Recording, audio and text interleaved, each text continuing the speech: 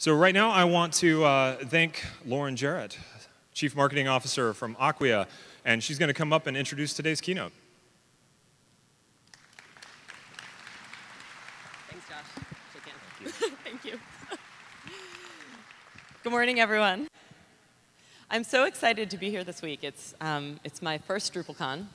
Um, very exciting. So I, um, you know, I feel like this is something that you really have to, to be here to really understand and experience. It's just awesome to see firsthand how the community all um, comes together um, and, and, kind of the creativity that can come out of um, everyone just kind of supporting each other and helping each other and collaborating and working on things that um, folks jointly care about. It's just, it's something very special, and I, I, just keep thinking that this is something that the rest of the world and, and other organizations could probably learn a lot from looking at a community like Drupal and how it operates. And this is such an exciting time also in the development of Drupal. Um, with, you know, from my perspective and, and, working in this industry for a very long time and, and uh, being a marketer myself for a very long time, the way digital is fundamentally changing the way some of the world's most influential organizations can offer their products and services, can, can differentiate themselves, um, can have an impact, and the way that they can completely change the experience their customers have with them is just being fundamentally altered um, and transformed by digital capabilities. Um, and it's exciting to be sort of at the, at, at sort of the, the, the, mecca of that. Um, and with D8 out now and, and adoption escalating and, and, really starting to take off, kind of the impact that we can have as a group is just only going to go up from here. I spend a lot of time in my job working and talking with the industry analysts, the folks whose job it is to really uh, look at the industry and figure out what's happening in web content management and digital experience and what organizations need to do uh, moving forward. And something pretty amazing has been happening recently, um, and, and what I've been hearing all of the things that we've been talking about this week and that we heard and, and we talked about and, and, heard about in Dries' keynote, whether it's um, you know, headless, uh, Internet of Things, um, an API-first approach and assembly of experiences, um, or use cases that are not just about marketing, but really about fundamentally how businesses operate and what they do. Um, experiences that are beyond the browser, right? Web and webless, and, and Dries gave some great examples of this in his speech. Um, these things are real, open source.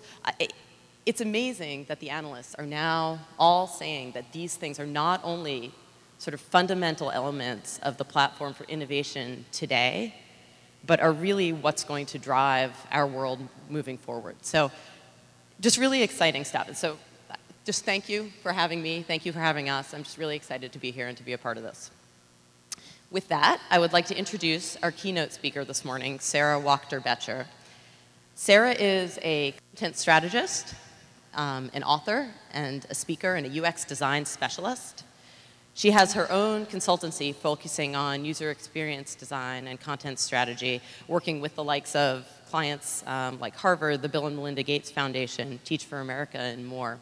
And she specializes in taking a business vision and translating it into UX design and content strategy. She is um, the author uh, of a couple of books, um, she, uh, Content Everywhere, a 2012 book, um, as well as Design for Real Life, her new book. So please join me in welcoming Sara Wachter-Boettcher. Hi. Thank you very much. Hello, good morning. Thank you all for making it in bright and early. So, as I get started today, um, I want to mention just one thing, and that's that this talk is actually a little bit personal and it has a few challenging moments in it. So I want to give you just a little warning. We're going to talk about some touchy subjects. If that, um, you know, makes you upset in any way, I understand if you need to leave the room. It happens sometimes. All right, so I think we need to get my slides up, maybe? Yeah, there we go. All right. Welcome. So the story starts out a while back when I was about to visit a new doctor's office for the very first time. And in advance of this visit, they had sent me a link to a new patient form. And so I get the link in my email and I open it up and I start filling in the form. I get through all of the normal fields, right? It's like Has anybody in your family ever had a stroke? Um, do you smoke? All that standard stuff. And then suddenly I get to what I call the question. Have you ever been sexually abused or assaulted? And it's just sitting there staring at me. I don't know why they were asking. It didn't say. I don't know what they wanted to do with this information, where it would go. There was no box to tick for, well, yeah, actually, but that's not why I'm coming into your office today. And I'm not afraid to talk about it, but I don't know you, and I kind of don't want to talk about it with you, and could we just have my appointment? There was no space to breathe. There was just this tidy little binary for a story that didn't feel tidy to me at all.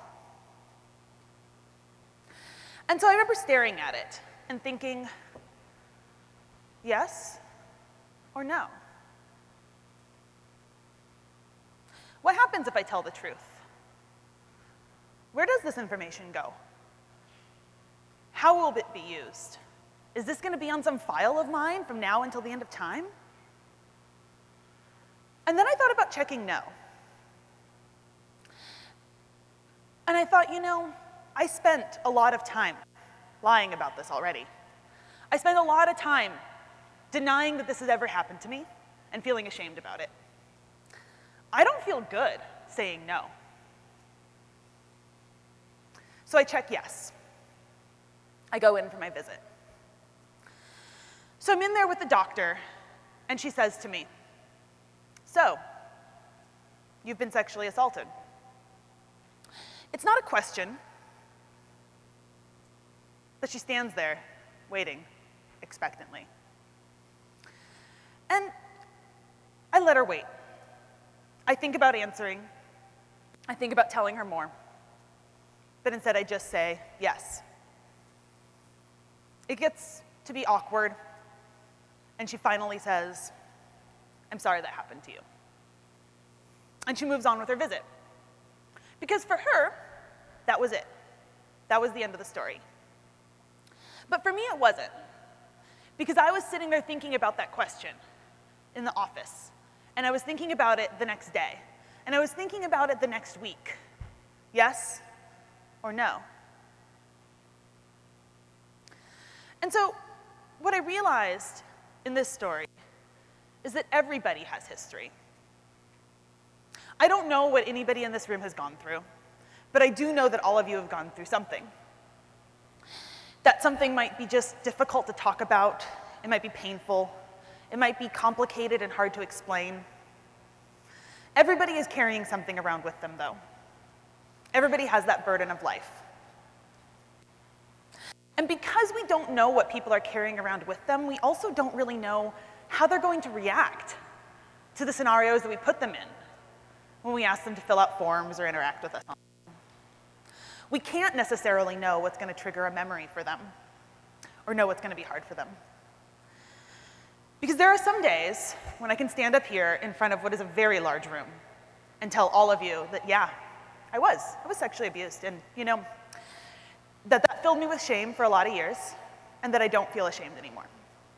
And there are other days when I might choke on all of that, when I might not be able to get those words out. I don't always know which thing is going to happen next.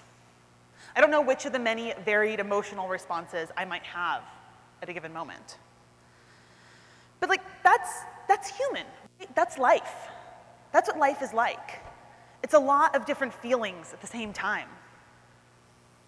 And so, as an industry, I think we've started talking a lot about how we want to make things for humans. We want to make things for people. And this comes up all the time. But oftentimes, when it does, I think we're really only talking about making things for happy people, making things that are going to make somebody feel welcome and excited. We spend a lot of time designing for things that are going to work really well for somebody who's having a great experience, somebody who is celebrating a new relationship or a new baby. We don't often think that much about how we make things for people who are having different kinds of experiences. And so that's what I want to talk about today. How do we make things for whole humans? For people who are hard to categorize, for people who are going through any number of complex or contradictory emotions, for people that we ask to fill out a form field without thinking about how to make them feel comfortable providing information, how to make them feel safe, or whether we ought to be asking for that information in the first place. So whenever I think about designing for humans, I think about this talk that Paul Ford gave a couple years ago at the School of Visual Arts. He gave it as a commencement address. And he said, you know, when I look out at this room, I see a comparatively small number of faces, but I also see a trillion heartbeats. Not your own heartbeats, but those of your users. If we're going to ask them to spend their heartbeats on us, on our ideas, how can we be sure, far more sure, than we are right now, that they spend those heartbeats wisely. So, you know, I actually think about this question every day now. How can we be far more sure than we are right now that our users are spending their heartbeats wisely with us? And what I've come to is this idea that we can make everything that we do, every decision that we make in content, design, development, that we can make all of it an act of kindness, Every time we write a word, every time we pick a form field, every time we do anything, we can think about kindness at the core of that interaction. And that's what I'm going to focus on by talking through a few different principles that I've come to to help in that process. The first one is to rethink what we think of when we think of normal. To do that, I'd like you to take a moment just sitting in your seats and just do this for me. Imagine your user real fast. Just put them in your head. Can you picture them, hear them, imagine them using your site? Okay. So now that you have that first person in mind, I'd like you to be honest with yourself. What was the very first thing you pictured? Just the very first moment you got them into your head. Did you imagine their gender, their race, their age? Did you imagine how they're feeling when they're using your site right now? What did you think about them?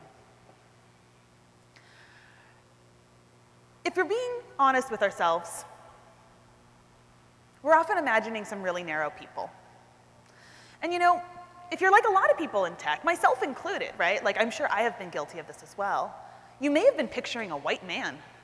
It comes up more often than you want it to because that bias is actually really deeply entrenched. And even if you didn't, even if you were imagining somebody a little different than that, odds are pretty good that you are imagining somebody relatively narrow. Now, it's okay to have a target audience, and that target audience might be a narrower piece of the population, right? Targeting everybody is not necessarily a goal. But the thing is, oftentimes, we think we know who our users are, and we don't ask this question. This question that I've decided is really important. Just, just what if we're wrong? What if somebody who is a little bit different, who looks different, has a different background, has a different experience than what we imagined in our head, uses our product? Do things still work? Or does everything break down? Does our design alienate people, and does it hurt them? I want to talk about an example of that that I learned about from a woman named Maggie Delano. She wrote a Medium article about this a while back, and the title is pretty good at explaining the thesis of the article. I tried tracking my period, and it was even worse than I could have imagined. So, period tracking, if you're not familiar, is something that women have done for a very, very long time, long before they had apps for it. All it is is a system for knowing when you're gonna get your next period. And some women might track other information around that, like uh, moods, before or after a period or other kinds of symptoms they might be having, feelings, that kind of thing. There's lots of things that somebody might track along with their period. So of course now there are apps to help people do this, right? And since a lot of people have periods, a lot of people use these apps. So Maggie went out looking for one that would work for her. And she downloaded a bunch of them and she kind of showed her walkthrough of how they worked. And you know what she found? She found that none of them actually worked very well for her. And there's one particular example I want to talk about because I thought it was so interesting. I downloaded the app myself and I started playing with it. And that's an app called Glow. So Glow um, is one that, just so you know, I'm gonna go through a couple screens here. There's no personal data. This is all fake data as I'm just messing with the onboarding process. But the first thing you get when you, when you download Glow is this screen. This is your first onboarding screen. And I wanna note something here at the very top. It says, choose your journey.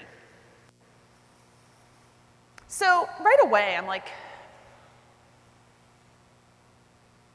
it's a period.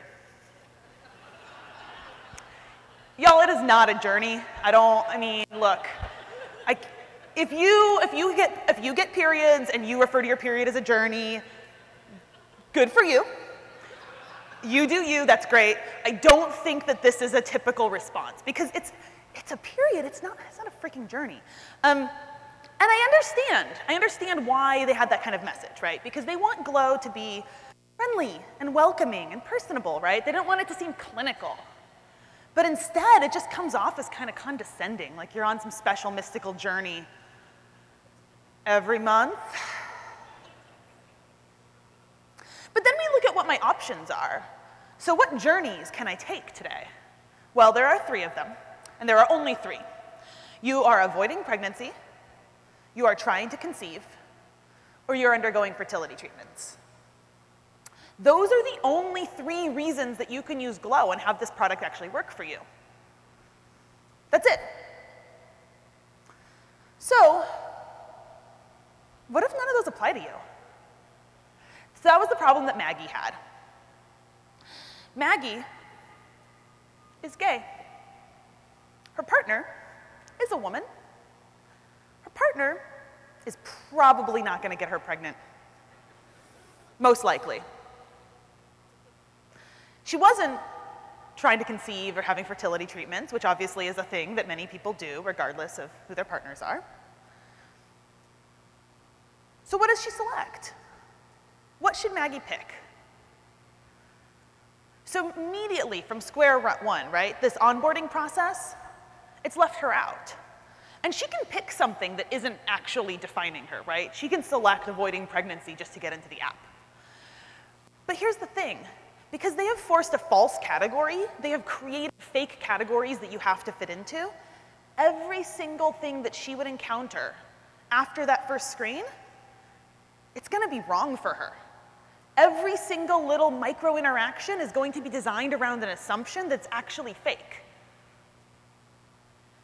So this app is gonna think all kinds of stuff about her. For example, it's going to shame her for not using a birth control method and tell her about her increased chances of being unintentionally pregnant. And all because they decided, right? They decided that women had to fit into three neat journeys. Now, it's not just that onboarding process. There's also all kinds of stuff that Glow does as you go through it. So one of the things that happens if you go in and you select that you are um, avoiding pregnancy you can enter all this data about what you're doing in a given day, and it really wants to enter you to enter information about like, um, you know, did you have any sexual activity? And you can also enter things like, did you exercise, and all that stuff. And so if you answer some of these questions on a given day, um, the app will update. And one of the things that it does, if you said that you had sex, is it says, I had intercourse. That gets added to your profile. But here's the thing I want to call out here. Do you see that little heart? That little heart icon? I didn't pick that heart. Glow picked it for me. Because what Glow has done is Glow has decided how I feel. Glow has decided that I had a heart experience that day.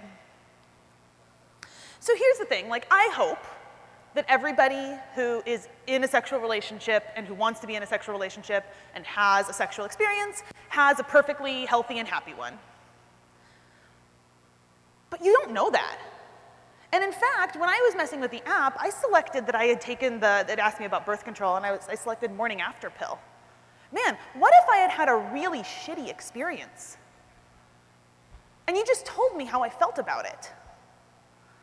I look at that and I think, why are you assuming my feelings? Right? Like, why are you telling me how I should feel about this scenario? Because in Glow's mind, everybody using this app is in a healthy, committed relationship, having great sex every time they use the app. Because if you're not, it literally doesn't work for you. It's not just about sort of sexual health stuff. Actually, Glow gets into a whole lot of things that, that are interesting. Here's an example. So it wanted to know if I'd had any alcohol. So I went ahead and just put in that I had four drinks one day. So I'm like, let's see what happens if I, four drinks. Maybe I'm at a conference, right? So I get this answer. You had many drinks. Thanks. And then there's this long, shamey message, and it says, there's nothing wrong with enjoying a few drinks every now and then, but heavy drinking can become a problem when it is very frequent and at high intensity. Binge drinking is considered uh, more than four drinks per sitting for women, and blah, blah, blah, blah, blah. So one time, I told my period tracking app that I had four drinks. And it decided what I needed was a big, long, shamey message. Like that that was what I wanted from this experience. And I look at this and I think, you know, why did you think that this was your job, right? Like, why did you do all this stuff that I didn't ask for? This is an app that's supposed to be empowering me to better understand my body. So, shouldn't it make me feel more in charge and not less in charge? I said I was interested in tracking my period, and you told me that I needed to be on a specific journey. You told me what I cared about. You told me how I felt. You told me about me. And I think there are so many assumptions built into a product like this. When you start unpacking them, it's over and over, so many assumptions. And it made me think, you know, what kinds of assumptions am I bringing into my own work? What kinds of assumptions am I making about people that are just plain wrong? For Maggie, she said, you know, these assumptions are yet another example of technology telling queer, unpartnered, infertile, and or women uninterested in procreating that they aren't even women. These assumptions are telling women that the only women worth te designing technology for are those women who are capable of conceiving, and who are not only in a relationship, but in a committed relationship, or in a sexual relationship, and in a sexual relationship with someone who can potentially get them pregnant. Those are the assumptions that that product is making. In those three little boxes, in those few little screens, they have built in so many assumptions. And so I look at a product like Glow, and I think, you know, they were probably trying to make it feel seamless, smooth, right? Make the onboarding process really easy to get into. But I look at that and I think, for whom? Who gets to have that experience? And who gets left out? If we want to be inclusive to our users, I think we have to recognize that that takes a level of nuance. We need to be more careful about asking people what they want and accepting nuance in their responses to us. Because, you know, people don't fall into three neat categories. They need to be able to define themselves. So if you compare something like Glow to something like Clue, which is another period tracker, you will see that they are worlds apart. One of the things that Clue does that I think is really interesting is that it doesn't ask you to define yourself on their terms. Instead, their onboarding process is a series of simple screens. It's pretty quick to swipe through, but it's a number of screens where you just set it up. And it's designed as a setup. Do you want to do this thing? Yes or no? Do you want to use Clue to track things like how long your period is, or your emotions, or birth control you're using, right? And there's a little bit of information about why you might want to use that piece of the, the app, right? That's like, you know, if you use this to track your birth control, this is what that will do. But what it does is it asks you what you want to do, right? It asks you what you want to do with the product, as opposed to asking you who you are, asking you to fit, force fit into their own decisions. And I think that this is a really important concept. How do we let people define themselves in our products? Because ultimately, we're always going to have users who are a little bit different than what we imagine in our head. We're always going to have people who need to be able to express their identity in ways that we have not thought about before. How can we have the flexibility and the nuance to allow them to do that? Which brings me to this concept of making space. Making space for real people to exist. To talk about making space, I want to talk a little bit about names, because names are such an important part of identity. I know, for example, that my name is very important to me. And I get frustrated every time I see a form field like this. This is Twitter. I cannot actually put my name into Twitter. It doesn't work. It's missing two letters at the end. And this happens to me all the time, right? Because the form was not designed for a name like mine. Sometimes it's rejected because it has like a hyphen or too many capital letters. Just can't handle it. And I find this irritating. But you know, I don't think that my frustration is actually anything when you think about what Shane Creeping Bear went through. So Shane Creeping Bear is a Native American, and he had his name rejected by Facebook. He was told that his name was not approved and that it didn't meet Facebook's standards. Now, it wasn't just Shane Creeping Bear, it was actually a whole number of people with native names. It was Lance Brown Eyes. It was Robin Kills the Enemy. It was Dana Lonehill. They were all told that their names did not meet the standard and couldn't be used. Now, see, Facebook has an authentic name policy, so you're supposed to use a name on Facebook that you go by in everyday life. And they've been evolving this policy recently because of problems like this. And we could talk about whether or not they should have that policy, but at this moment, they do. But let's look for a second at what they told people when they said that their name wasn't approved. This is the copy that they had. Your name wasn't approved. It looks like that name violates our name standards. You can enter an updated name again in one minute. To make sure the updated name complies with our policies, please read more about what names are allowed on Facebook. I will tell you, I read that copy, and this is what I hear. I hear, first off, your name is wrong. Your name is the problem here. And if you say that your name is wrong, what I also hear is you don't belong here. Because those were these people's real names. They were following the policy, right? But they're told that name violates the standards. If your name violates the standards just by it existing, how welcome does that make you feel? And you know, it also says you're the one who has to change. You notice there are no other options. There's one thing you can do from that screen, and that's in one minute you can enter a new name. Now, technically, there was a kind of behind the scenes, like if you went to the help center and then you got in touch with somebody and then you told them the problem and then they could do a whole workaround thing, right? But then none of that was explained. It just said, you're wrong, you have to change. So Facebook has actually changed this copy um, just a few months ago. And they changed it to something that's working a lot better. They have uh, help us confirm your name.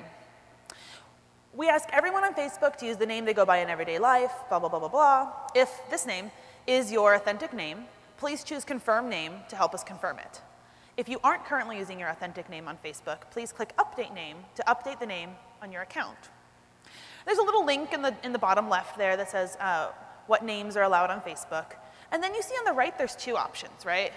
You can confirm your name, or you can update it. So they're not saying that you're necessarily doing something wrong, and they're not saying that you have to change your name. They're leaving room for the system to be imperfect here.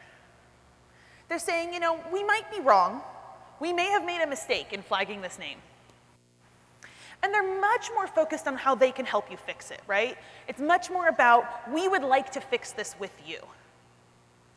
And then they're very direct about what you can do about it. If you got that message, you might still not like having to fax in a copy or email in a copy of your driver's license or your birth certificate. You might not like having to go get your name approved. But at least you'd feel like there's space within Facebook's universe for you to exist. And that brings us to that lesson about kindness. It's really about adjusting to users' needs instead of always asking them to fit ours. Because, you know, we think we know what a real name looks like. We think we have a good idea what a name is. But we're wrong. Because there will be real names and real people who fall outside of those standards. How can we help them get things done rather than telling them that they have to adjust to us? I don't think you can do this kind of thing, though, without setting aside some ego. You'd be able to set aside a little bit of your organization's pride. And I want to talk about an experience I had with that back when I used to edit a, list apart. So I was the editor there from 2012 to 2015, so at the end of the year I left. And during that time, um, you know, we had a lot of conversations about, well, what does it mean to edit a magazine about the web? If you're not familiar with List Apart, it's been around since 1998, and it's, it's one of these early web magazines that's for web professionals, for people like you. But of course, since 1998, the web has changed a lot, and there's many, many, many places that you might go for content that would relate to learning how to do your job better. So it's not just the only place that you would end up. Are we still missing slides? Is it just because I'm not? Okay. Sorry. So, okay. So when I worked on a list apart and we were trying to figure out, well, how do we make sure that we're attracting people to write really good stuff? How do we attract good authors? I started taking a look at what we were saying about attracting authors. This is the copy that we had on our About page. It says, maybe you can be one of us. The few, the proud, the ALA contributing authors. A list apart is written by the community it serves designers, developers, architects, producers, project managers, and assorted specialists. Publishing in ALA confers prestige and has helped some of our authors gain book deals or find favor with the editors of print magazines. Interested in writing for us? See the contribute page. All right, if you click through to that contribute page, here's what you would get. So, you want to write for a list apart magazine. What we're looking for. We want to change the way our readers work whether that means introducing a revolutionary CSS technique that, with dozens of potential applications, challenging the design community to ditch bad practices, or refuting common design or common wisdom about, say, screen readers. If your article can do that, we want to see it. I look at that and I think, so? Challenging, revolutionizing, refuting. That's some pretty aggressive language. That's, a, that's some language that's like, first off, it says, we are very important. Like, that's actually the number one thing you take away from that. You guys, people who write for us get book deals, so. So it says, first off, we are the important ones here, right? And then it says, you know, you're probably not good enough, right? Because if we're the kind of place that confers prestige, and we're the kind of place where it's like, you need a revolutionary technique that's going to have dozens of applications. Oh, your little idea, that couldn't possibly be important enough. And so I look at that copy and I thought, you know, it's no wonder when I go to people and I'm like, oh, I saw this thing that you wrote, that's really interesting, I would love to have you write for a list apart, would you be interested in writing an article? They were just like, nope. Mm-mm, no, that sounds hard that sounds kind of scary. And they'd say things like, you know, I just, I just don't think any of my ideas are important enough.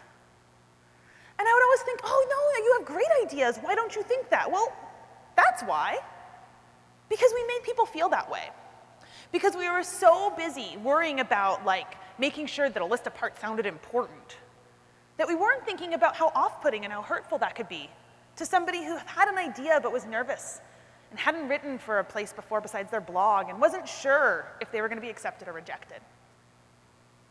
So we went about rewriting that content. I'm going to share with you what it says today, um, or at least last time I looked at it. Uh, since I'm not there anymore, they might have changed it. It says, write for us. Yes, you. We're always looking for new authors. If you've got an idea that will challenge our readers and move our industry forward, we want to hear about it. But you don't need to wait for an idea that will redefine web design. Just aim to bring readers a fresh perspective on a topic that's keeping you up at night. Now, if I were going to rewrite this again, because I've looked at it on a big screen a number of times, I would probably actually get rid of things like challenging our readers, because even that, that can feel a little bit too aggressive for a lot of authors who aren't necessarily looking to challenge people. They just have an idea to share. But still, there's a big difference between this content and the old content, right? We're saying, you know what, your ideas count. You don't have to redefine all the things. If you have an idea that you're excited about, if it's holding your attention, then it's probably going to be interesting to others as well. And we want to hear about those. And it also says, you know, you're why we're here. We're not a magazine unless we have people like you. Yes, you. It's those little words, those little differences can actually make a big change. And we actually started to see a big change in the submissions we were getting. But what it took is a little bit of swallowing of pride. It took us being able to take a step back and say, it doesn't really matter that A List Apart was one of the first places that was doing this. It doesn't really matter that we want people to think that like we matter in some way. That's not actually important. What's important is we're trying to provide useful, interesting articles that will help our industry.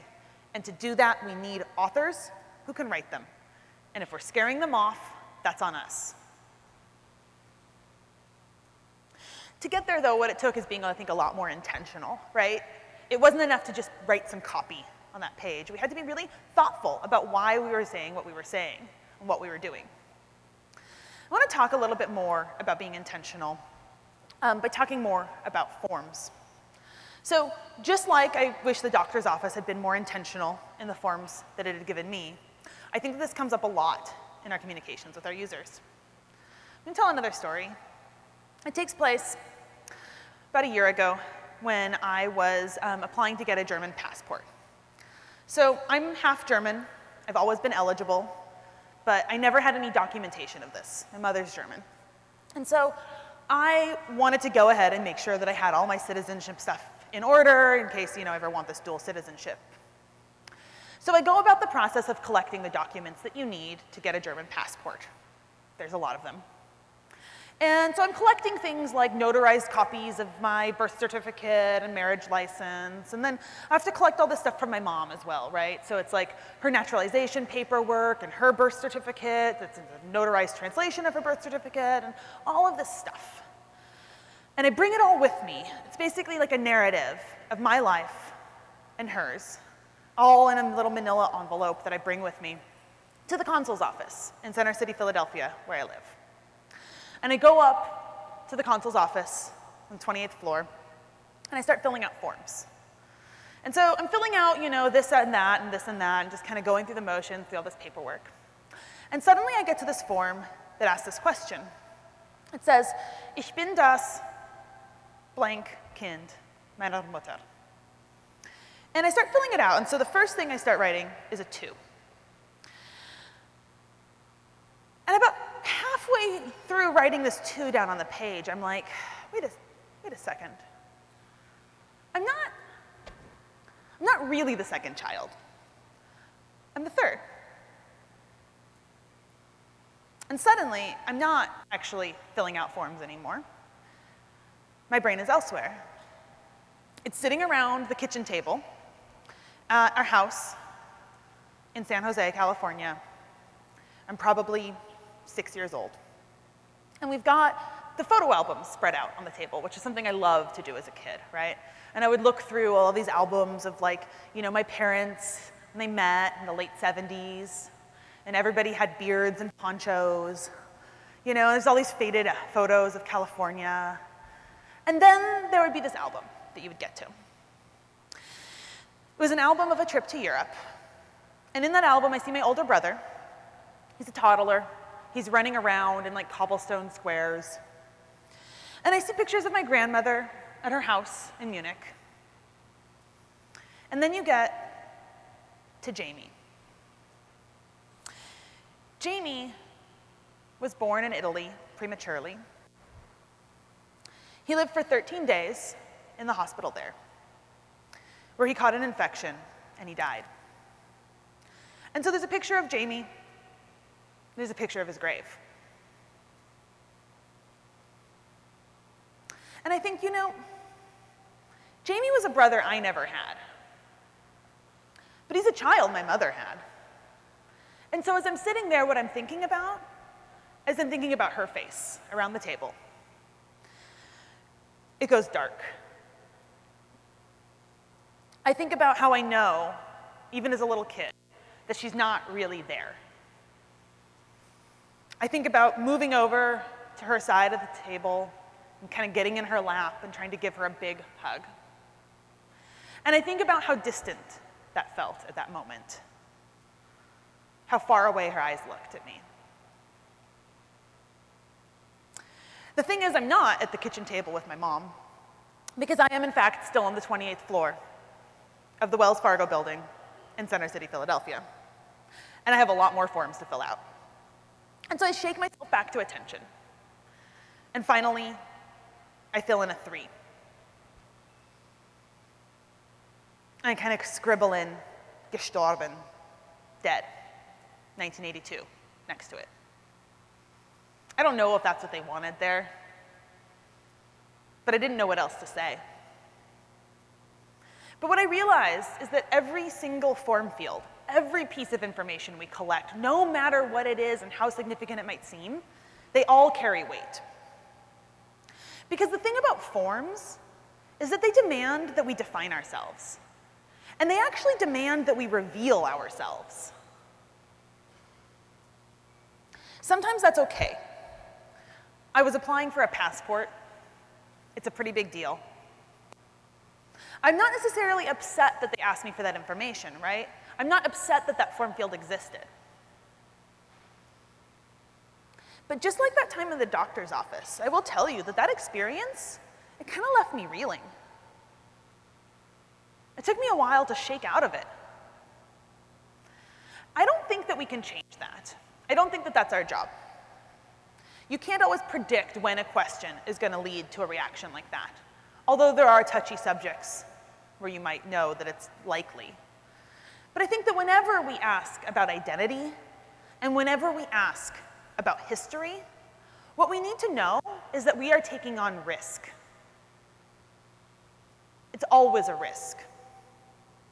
And so the best thing that we can do, the best way that we can mitigate that risk, is that we need to be able to ask why. Whatever role we're in, whatever work we're doing, we need to be able to ask why. Is it a good reason? Or are we doing this because this is what we've always done? Because forms always ask for this?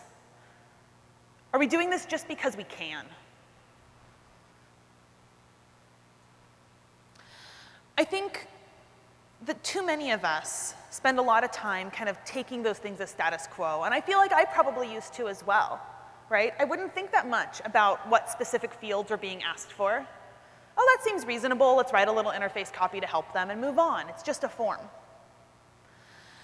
So a tool that I learned about from a woman named Caroline Jarrett is called a question protocol, and it's really helpful for changing that perspective and helping you to sort of make sure that you're asking good questions and that everybody in the organization is thinking about it. She talks about it in a book called Forms That Work, um, which she wrote um, with a co-author, Gerry uh, Gaffney. And in that book, she talks a lot about um, techniques for making sure that your questions are going to work for your users and that you're actually asking the right stuff. And she uses this question protocol that's been adapted from surveys. And so what it is is really just a tool, like a framework for consistently making sure that you actually need the information.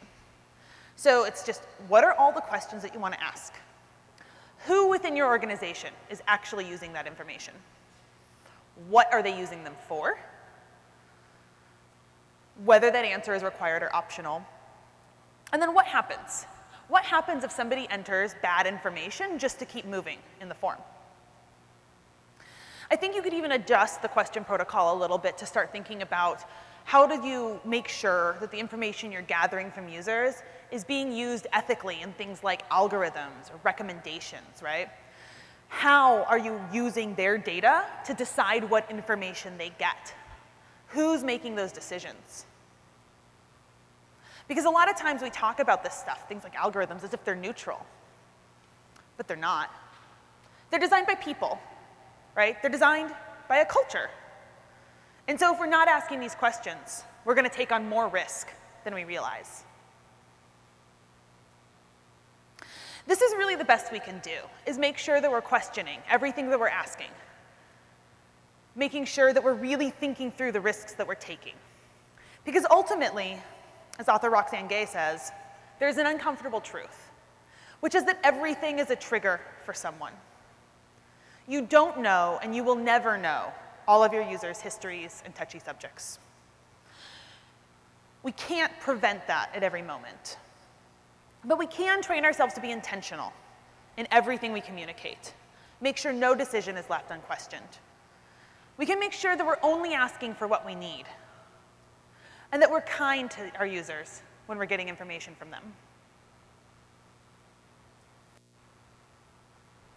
Kindness also comes down to finding fractures in our work, finding out where things break.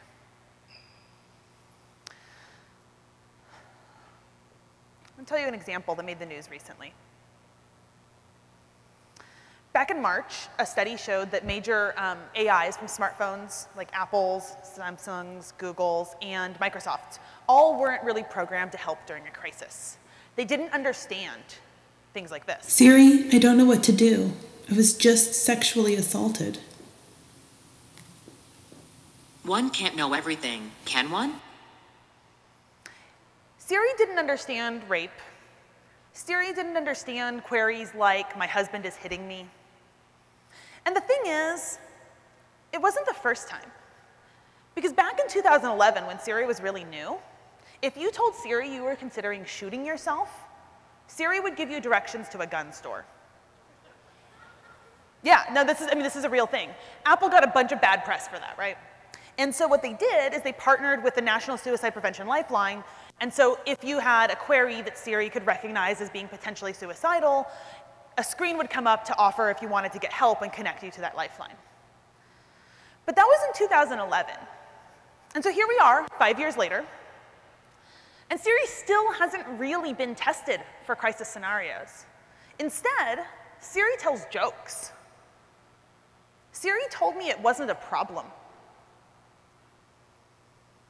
Siri's pithy little quips, they broke in the context of an actual scenario.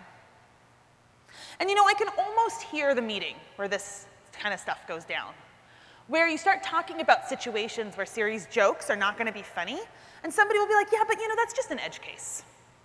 I mean, like a statistically small number of people are going to have an experience like that, and so, you know, most people are going to be fine, and they're going to think it's really funny when Siri says something witty. And it's really easy to write things off as an edge case when they're in the abstract. But that's actually kind of part of the problem. When we talk about something as an edge case, we're saying we don't have to care. We're sort of relegating it to the corners. We're actually explicitly pushing it to the fringe. And so instead, what I've been talking about with Eric Meyer, who's the co-author of my book, is the concept of a stress case. A stress case is something you bring to the center. A stress case is something you focus on because it tells you a lot about how well your design works. Because what stress cases do is they show you where your weaknesses are. They show you where things break. It's like if your doctor wants you to do a stress test and they put you on a treadmill and they want to see how much stress can your heart be under until you have an abnormal rhythm. We want to know the same. How much? How much stress can we put our content and our design under before things start to break down, before they don't work anymore? That was certainly the case for Eric. Eric, um, you may know as being sort of one of the, you know, forefathers of CSS and sort of this grand person on the web and one of the earliest bloggers. But you may also know him for something else. A couple years ago, his daughter, Rebecca, got sick. She had cancer. And Eric started writing about it on his blog. And he wrote about it all the way through her treatment and all the way through the moment when she died on her sixth birthday in the summer of 2014. And then a few months later, as Eric's going through the worst year of his life, he logs into Facebook on Christmas Eve and he gets this.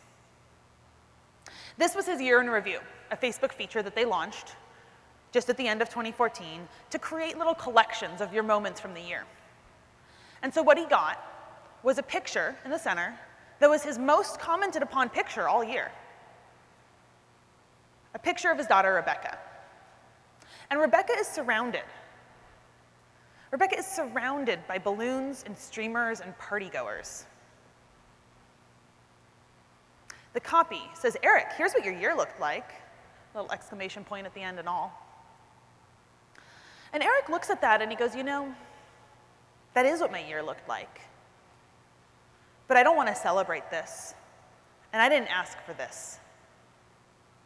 I don't want to relive it here on Facebook.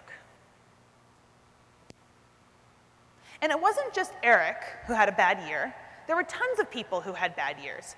There are people who got pictures of their apartments burning down, pictures of a grave, pictures of any crappy thing that you may have shared on Facebook because people share everything on Facebook.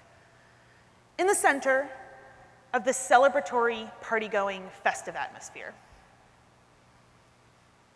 That's a stress case.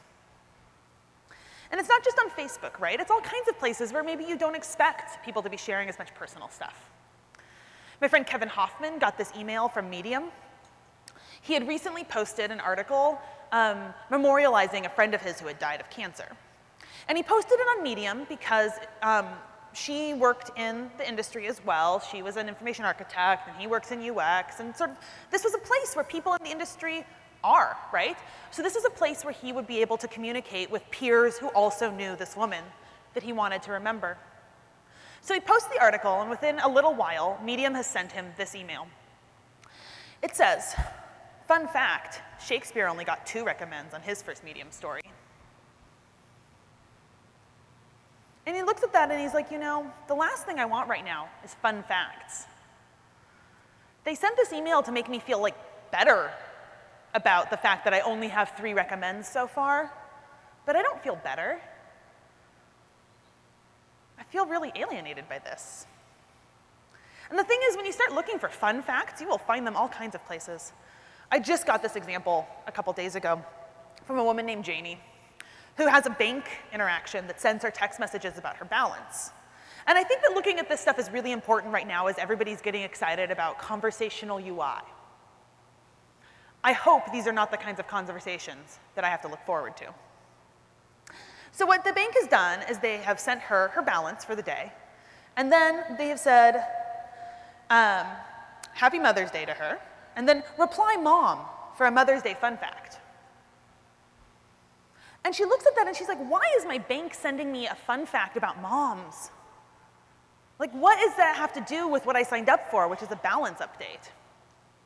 And the thing is, personally, around Mother's Day, I saw maybe six or eight different people I know, friends of mine, comment about how difficult they find Mother's Day. Because they have mothers who are gone, they have mothers who are abusive, they have mothers they never knew. Or maybe they lost a child or recently had a miscarriage.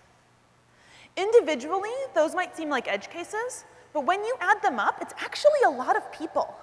A lot of people have complicated reactions to something like Mother's Day. And so I think that what we need to keep in mind is that when we add fun to our interfaces and we think we're going to do something cozy and friendly, we are creating risks, oftentimes for no reason at all. These risks hurt and alienate real people. And they make people feel in a way that those fun facts and those jokes were never intended to make them feel. A company that's really realized this in the past few years is MailChimp. And I bring them up now because they're actually known pretty widely as being really quirky and zany and fun-loving. They're known for having this brand that's really humorous. For a long time, they had these um, this, not that lists that they would share. Their communications director, Kate Kiefer Lee, has talked about this a lot, about their tone and voice, and how they want to be fun, but not childish, and clever, but not silly. And so there's all these little guidelines to kind of keep that quirkiness alive in the stuff that they create. And to go along with it, they have this thing called voiceandtone.com. Some of you might have used this resource. It's really helpful for thinking about voice and tone and how to sort of write for different audiences. So if you've not seen it, I, I do recommend it. It's great. But in there, they have all these different examples. How do we keep our readers' feelings in mind in our content? And they have things for lots of different kinds of content, right? So it's like success messages if your campaign just went out, or compliance notifications if you've been accused of spamming, or just informational content, or marketing content for new users. And then they talk through all of the different feelings somebody might have as they're going through that process. But something that they had on Voice and Tone for a long time was called Freddie's Jokes. Freddie is the chimp behind MailChimp. He's the mascot. And he used to tell all of these weird jokes every time he would log into the system. But you know, they've actually taken Freddy off of voiceandtone.com. And I asked Kate about this, and she said, well, you know, Freddie doesn't talk anymore. Freddie no longer speaks because at MailChimp, they have been deliberately pulling back from the humor in their content. What she told me was that, you know, over the years, we've moved to a much more neutral voice. We focus on clarity over cleverness and personality. We are not in an industry that is associated with crisis, but we don't know what our readers and customers are going through. And our readers and customers are people. They could be in an emergency, and they still have to use the internet. And that's true. You don't know.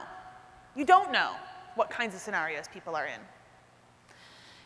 You don't know what state somebody is in when they're interacting with your product. And so, what do we do with that?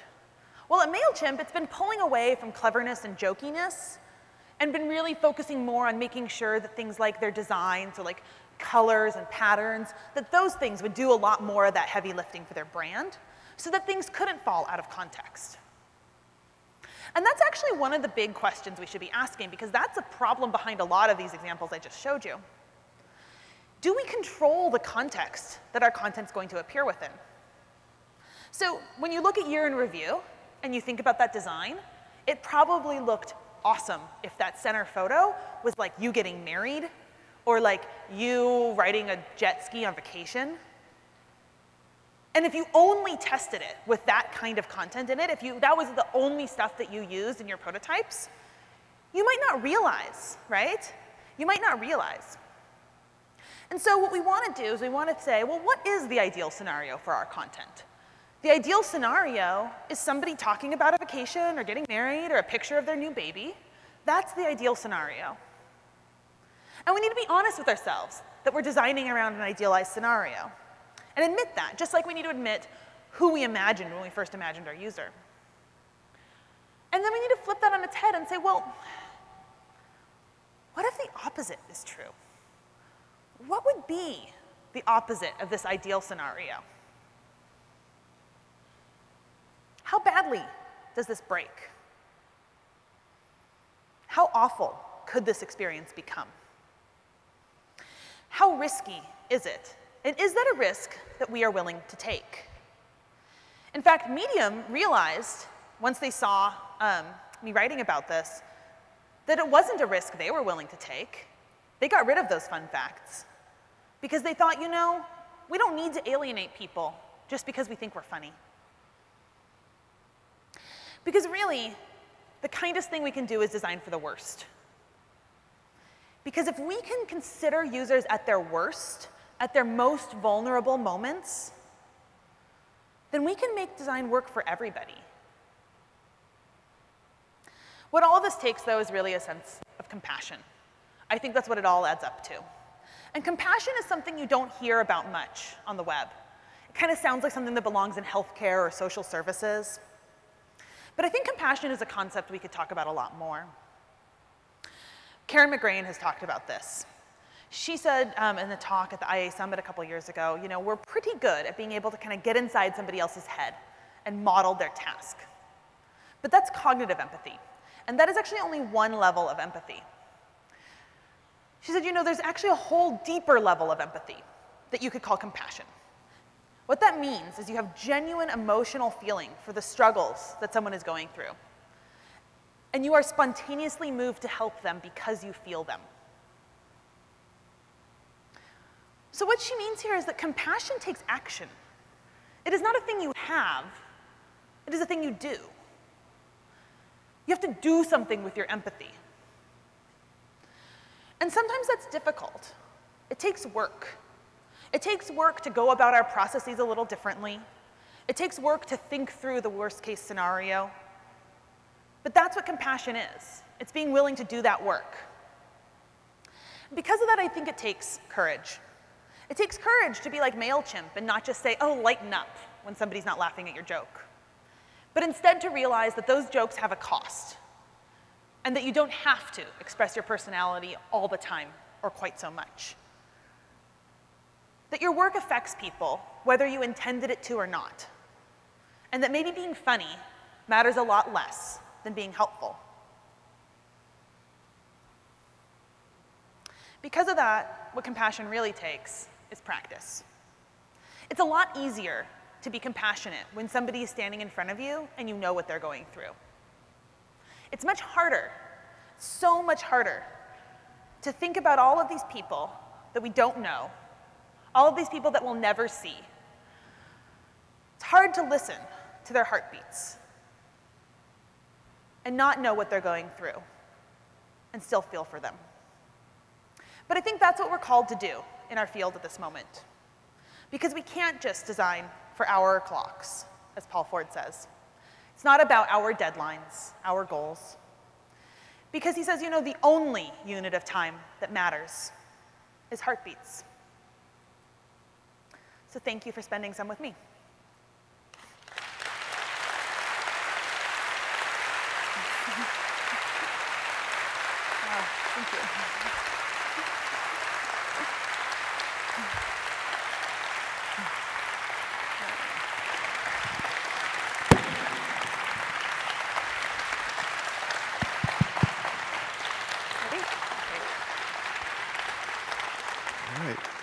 Thank you, Sara. Thank you so much for your insights into a, a uh, complex and difficult subject to understand.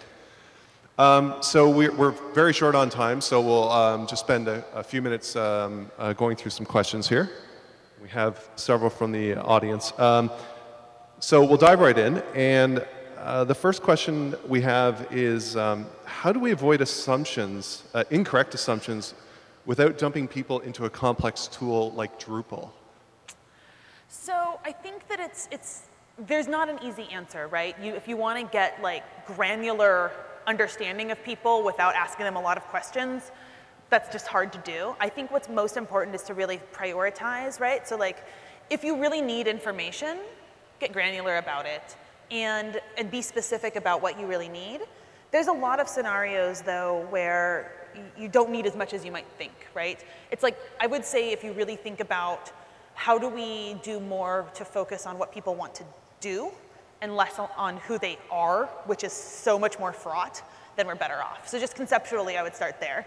But I do think it is legitimately difficult, right? Like it's, this is not like you can just say, well, like, oh, it'll be so easy to be super compassionate to everybody. And sometimes people are going to have to fill in something that's complicated.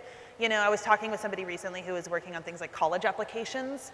And those are, I mean, those are complicated and they have to ask FAFSA information, so federal financial aid stuff, which is like, you have to get into all of this really specific data that's required, and in government that happens a lot.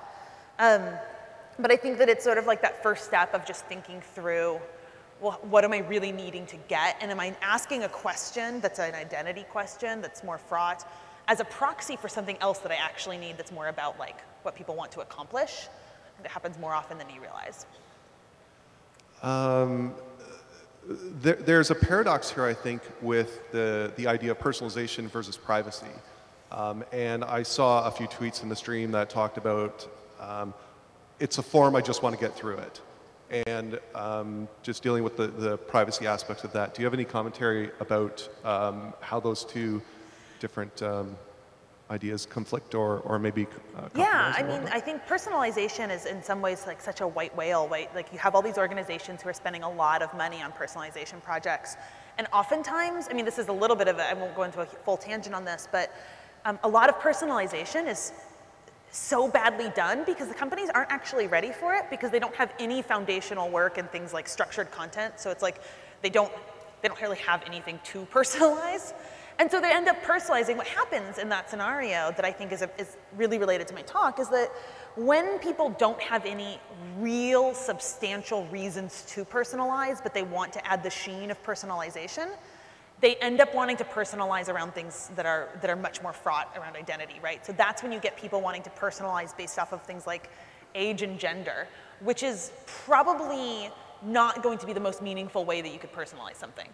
So I think that that's really common. Um, I also, I mean, I have grave concerns about the sort of like never-ending hunger for data that companies have, um, which is a whole other, much longer conversation we can have another time. Okay, great. And I think we have time for one more question. Okay. So um, implement, implementation is always um, key in the developer's mind and, and um, just working through that process. Um, but also budget and time constraints are a factor too. So um, how can we inform or, or what tools can we provide to stakeholders to ensure we're not just targeting that 90% majority, quote unquote, um, for uh, developing products and websites and so on? I think, you know, I think that a big part of it is not that we have to necessarily do more. A lot of times we can do a little less, right? It's like because we want more information or because we're trying super hard to get our personality out there, we're actually like like the Mother's Day message, or it's like the bank could have just not sent that, right? Like there was, they were trying to engage the user in her balance update, and they could have just not done that at all, right? Um, as opposed to the other option would have been they could have written some like weird, awkward, watered down message about like moms being great, um, but without making it potentially alienating, which to me just seems like don't bother. So I think that's one of the things is like try to look at how you can do less, not more, and be more inclusive. And the other thing I would think about when it comes to stakeholders is really helping people to understand that um, alienating people has a, actually has a big cost and that what you think of, like you don't really know what's gonna be an edge case. Like you think, oh, that's only the edge case, that's 90% or whatever. But I think like, like something like Mother's Day is an example that people would easily write off until they start adding up all of the reasons that people feel weird about Mother's Day. And then you look at it and you go, oh no, that's actually a lot of people. So if you can help people see it as a meaningful amount of people, that's really helpful. Also, if you can make it real, if it can go from abstract to like an actual person, nobody looks at that picture of Rebecca on Eric's profile and says, that's just an edge case, right? But in the abstract, they might. Uh, fantastic. So we're out of time, unfortunately. However, uh, and thank you, Sara. Thank you so much. Um, you can, if you want to follow up uh, with any questions with Sara, um, you can go to the Drupal Association booth um, after we're done here. Um, and there's coffee nearby, so that's always a bonus. And uh, there are limited copies of Sara's book, Content Everywhere, and discount codes for Design for Real Life. So um, uh, head to the Drupal Association booth, and, um, and you can uh, talk more with Sara. Great. All right. Thank you so much. you. Thank you, everyone. Thank you. Fantastic.